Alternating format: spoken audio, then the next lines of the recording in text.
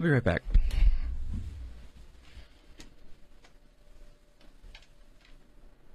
Three days later.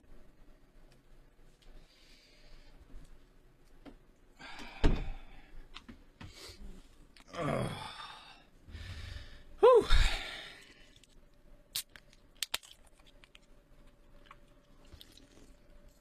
Ah.